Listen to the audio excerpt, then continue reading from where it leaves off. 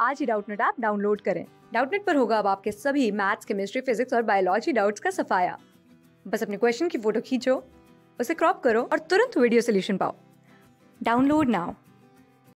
Question start करेंगे। Question दिया गया है, the following is generally used for creating density gradient during the centrifugation.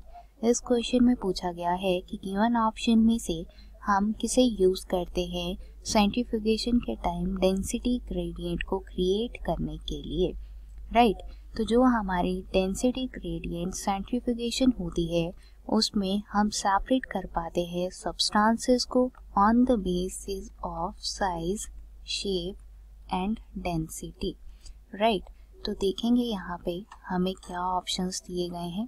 First है NaCl which is sodium chloride second is potassium chloride third is caesium chloride and at last हमारे पास आता है magnesium chloride right तो जो मेल्सन ऑर्टसेल्स थे, उन्होंने invent किया था specific type of gradient centrifugation को, जिसे हम most of the time isopycnic centrifugation कहते हैं।